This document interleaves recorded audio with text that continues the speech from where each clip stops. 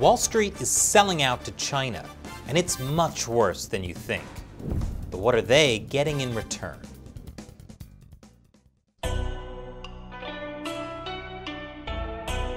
Welcome back to China Uncensored. I'm Chris Chappell. Over the last couple of years, the US government has been getting tougher and tougher on China.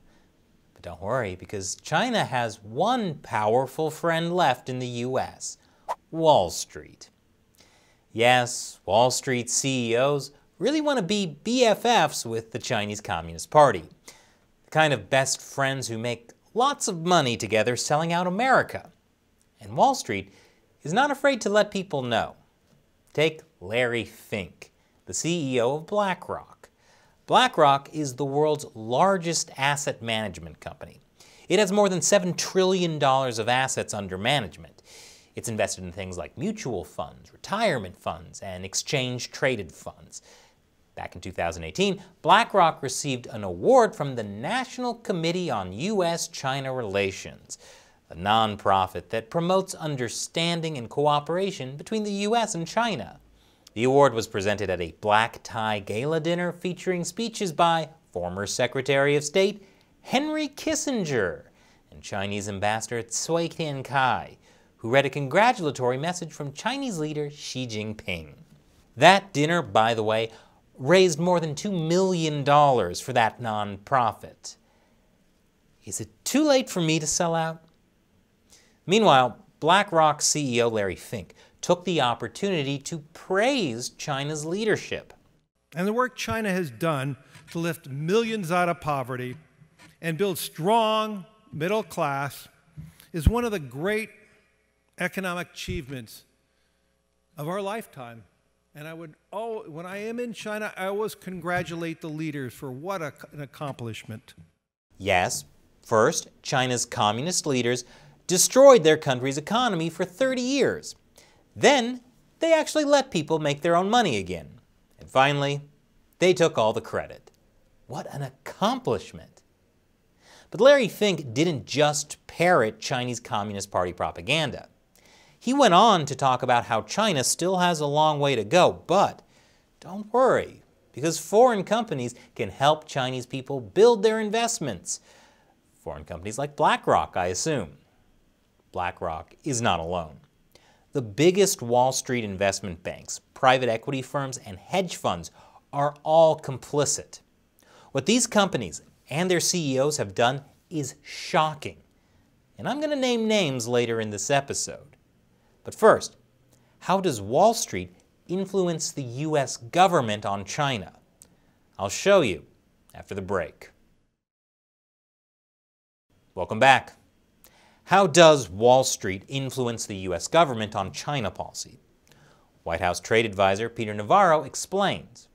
Consider the shuttle diplomacy that's now going on by a self appointed group of Wall Street bankers and hedge fund managers between the U.S. and China.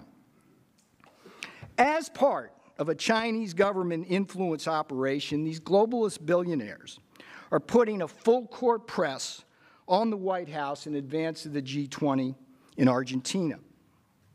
The mission of these unregistered foreign agents, that's what they are, they're unregistered foreign agents, is to pressure this president into some kind of deal. Navarro is talking about Wall Street pressuring the Trump administration to cut a trade deal with China back in 2018. He uses some pretty strong language here, calling these Wall Street bankers globalist billionaires and unregistered foreign agents, and accusing them of being part of a Chinese government influence operation. Is that going too far? Well, consider this. China's chief trade negotiator, Liu He, came to the U.S. in February 2018 to try and work out a trade deal with the White House. According to the Wall Street Journal, before Liu even met with U.S. officials, he met with a group of Wall Street executives. Looking for allies in trade talks with the Trump administration, Mr. Liu dangled a prize. Beijing offered to give U.S. financial firms a new opportunity to expand in China. And it worked. The get together helped turn Wall Street into one of the biggest cheerleaders for a trade deal. Unfortunately for Wall Street, the Trump administration wasn't buying what they were selling. Right after President Trump took office, we predicted on this show that he would put tariffs on China, based on the fact that he had been consistently talking about it for decades. A year later, he did. And that's when China's Wall Street allies started losing their clout. In September 2018, executives from some of the biggest Wall Street companies traveled to Beijing to meet with Chinese Vice President Wang Qishan, Xi Jinping's right hand man. Those executives also met with current and former Chinese officials and bankers to find ways to strengthen financial ties between the United States and China. Yeah, if Gordon Gekko were around today, he'd be smoking his Cuban cigars in Shanghai. Selling out is good. But the Chinese Communist Party's courting of Wall Street didn't start because of the recent trade war. It's been going on for decades. Let's travel back to the year 1999 when the biggest thing we were worrying about was the Y2K computer bug. And the biggest thing we were looking forward to was a new Star Wars movie. Well, we're older and wiser now. The Matrix also came out that year. And you just didn't listen, Mr. Anderson. In April 1999, Chinese Premier Zhu Rongji visited the U.S. The purpose of his trip was to lobby U.S. officials and business executives to support China's entry into the World Trade Organization. He even gave the CEO of NASDAQ a carved wooden bull, highly symbolic, because the Chinese Communist Party would spend the next 20 years giving Wall Street a truckload of bull. But Zhu Rongji also played hardball warning business executives that they wouldn't get access to the China market unless a trade agreement was quickly approved. Taking his case to the American business interests that have consistently pushed for expanded commercial ties to the world's biggest market, Mr. Zhu insisted that compromises allowing American telecommunications firms, farm products, banks, and insurance companies into the Chinese market could all perish. Well, it worked and the White House ended up giving in to pressure from the business community. The Clinton administration helped China join the World Trade Organization, and the rest is history. Really depressing history, involving the loss of millions of American jobs and the hollowing out of U.S. manufacturing. But hey, Wall Street made billions of dollars. The Chinese Communist Party has learned a lot about manipulating Wall Street over the last 20 years. And I'll show you a video later that proves it. Stick around because it's explosive. But first, it's time to name names, right after this short break. Welcome back. Who are the biggest Wall Street sellout? Well, I can't go into detail about all of the Wall Street companies that have sold out to China, or this video would be 20 hours long. But I'll give you some highlights. Let's start with BlackRock, the asset management company I talked about at the beginning of this episode. BlackRock CEO Larry Fink is gunning for the China market. In his 2019 letter to shareholders, Fink said, Our goal is to become one of the country's leading global asset managers. But don't worry, this is good for the U.S., according to BlackRock. BlackRock told the Wall Street Journal that U.S. financial institutions expanding in China is consistent with the policy goals of the U.S. government. Yes, it's consistent with the U.S. government's policy goals that were set up by Wall Street in the 90s.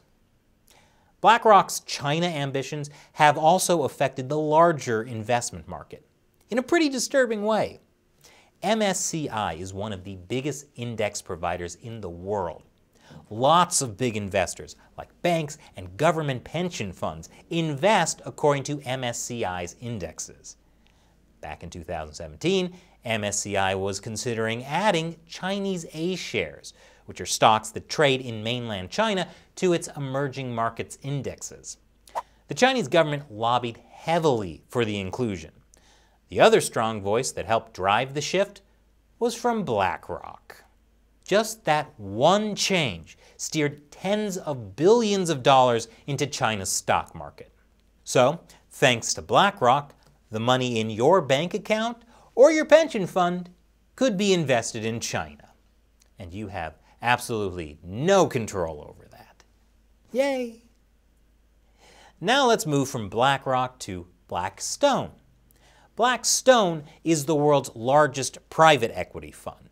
That means it invests money for private groups of investors.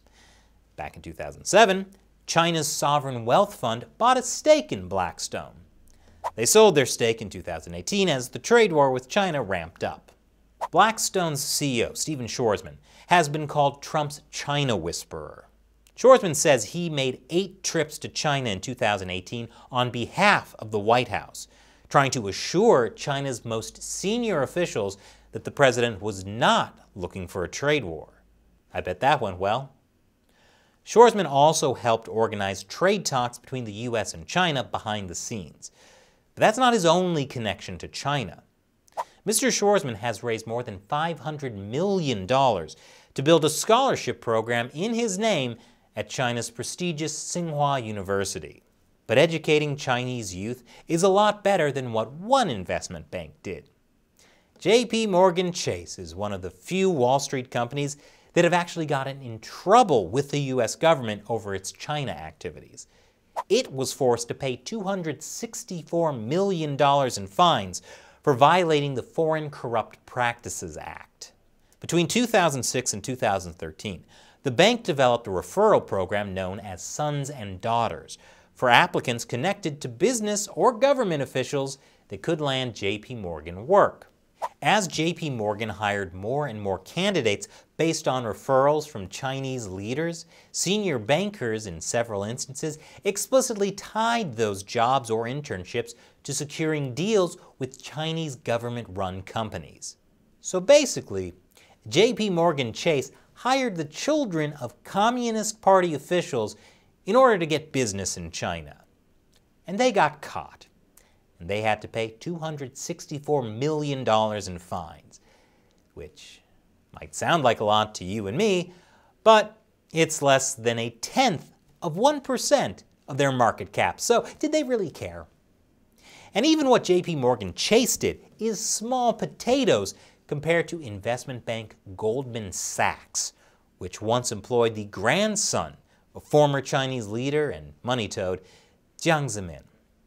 The book Hidden Hand says, no organization has been more important to the CCP's campaign to penetrate U.S. elites or more willing than Goldman Sachs. This isn't surprising, since Goldman also has close links to the U.S. government, which the Chinese Communist Party wants to influence.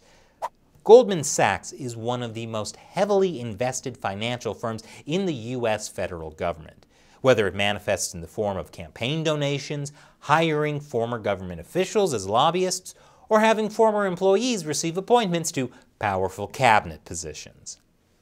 Mm, so many possible targets of influence, so little time. Speaking of Goldman employees that get cabinet positions, Hank Paulson was the CEO of Goldman Sachs until he became Treasury Secretary under George W. Bush. By the time he became Treasury Secretary in July 2006, Hank Paulson had traveled to China about 70 times in his capacity as a top Goldman Sachs executive. By that time, Goldman Sachs had already helped Chinese state-owned enterprises raise billions of dollars on the U.S. stock market.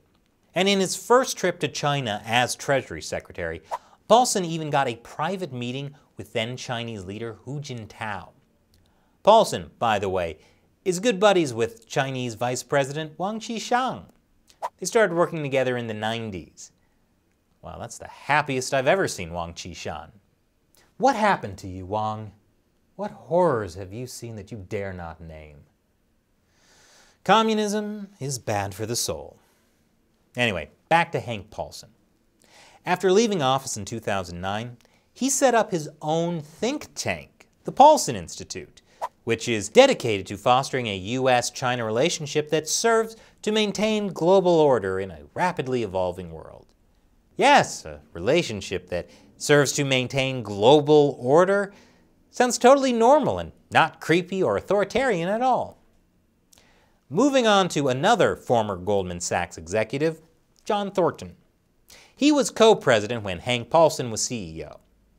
When Thornton left Goldman in 2003, he joined Tsinghua University as the director of their Global Leadership Program. In 2006, he gave $12.5 million to the Brookings Institution think tank to fund the John L. Thornton China Center.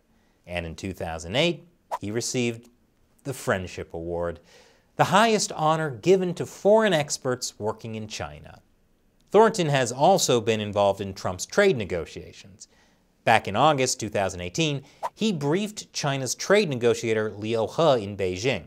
And Thornton also helped arrange a meeting between Wang Qishan and Steve Bannon? I wonder what those two talked about. This episode just keeps getting weirder. I should also mention that in the Trump administration, current Treasury Secretary Steven Mnuchin is also a former Goldman Sachs executive. However, he didn't really work on the China side of things at Goldman.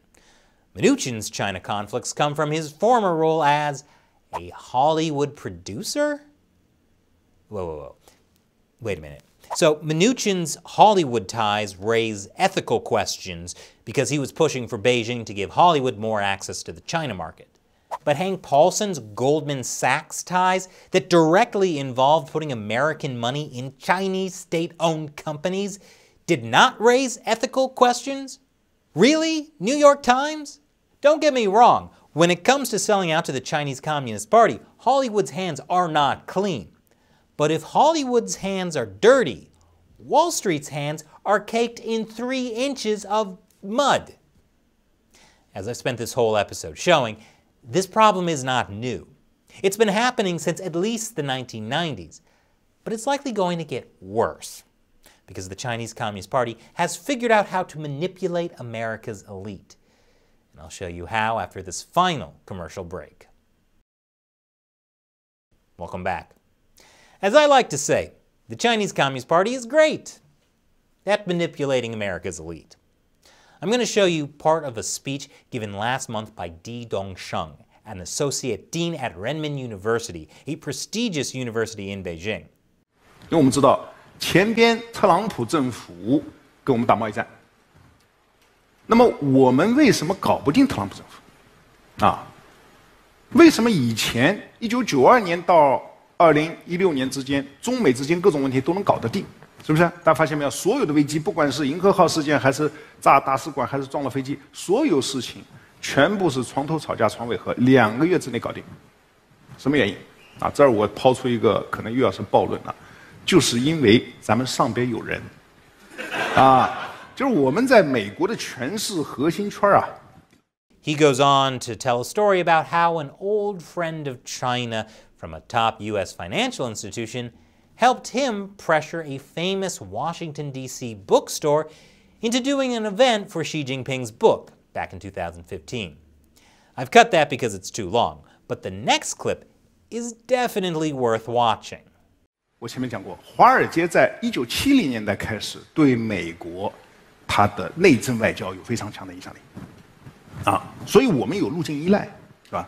但问题是，零八年之后，华尔街的地位下降了。更重要的是，一六年之后，华尔街搞不定特朗普，为什么？很尴尬。特朗普以前对华尔街 有过一次软性违约，所以双方有矛盾啊。当然，这个细节我就不不多说了，时间可能已经来不及了，是吧？那么，这个中美贸易战过程中，他们也试图帮忙啊。据我所知，美方的朋友跟我讲，这个试图帮忙，但是啊，力有不逮啊。但现在呢，现在我们看到拜登上台了，传统的精英、政治精英啊，这个建制派，他们跟华尔街的关系是非常密切的。所以大家看到吧，拜登的儿子。被特朗普说你在全球有什么基金公司？发现没有？谁帮他建的基金公司啊？明白吗？这里边都有买卖啊。Now I'm not saying Di Dongsheng is right about everything, but his speech represents the attitude of the Chinese elite, the absolute gloating over the fact they've cracked the code to manipulate American politics using their old friends on Wall Street, especially if Biden becomes president. If you're upset after watching that video, don't worry. This story has a happy ending. For Wall Street, that is. Because now that there's a phase one trade deal, the Chinese Communist Party is rewarding a lot of the companies I talked about earlier for being a good friend to China. Since the signing of the trade deal, JP Morgan will get full control of a futures venture in which it had a minority stake. Goldman Sachs and Morgan Stanley became controlling owners of their Chinese securities ventures. And in August, BlackRock became the first foreign firm to win preliminary approval to start a wholly owned mutual fund business in China. See, selling out is good. Of course, ultimately, it's not going to be a happy ending for Wall Street because the Chinese Communist Party is luring American companies to China for a specific reason. But that's a topic for another episode. Still, the Chinese Communist Party is keeping Wall Street happy for now because no matter which political party is in power in America, Wall Street will always be there to grease the wheels for the communists, like a loyal friend should. And now, it's time for me to answer a question from a fan who supports China Uncensored on Patreon. We couldn't afford to keep making this show without their support. Zed asks, Thank you for the great content. Any plans to expand further with this momentum? Asia, Europe, Central slash South America uncensored? Happy holidays and positive vibes. Now that's an interesting question, Zed. I was actually just talking with Matt about doing new shows. His suggestion was that we do a show that's just him playing with Legos. He really likes Legos. And while that's a great idea, maybe there's some better kind of show we could do. Shelley had a great idea for a cooking show where we invite all the world's top dictators on. It's called Cooking with Authority. Kim Jong un still hasn't returned my call. But if we were to start another show, what would you like us to do? Let me know in the comments below. Once again, I'm Chris Chappell. See you next time.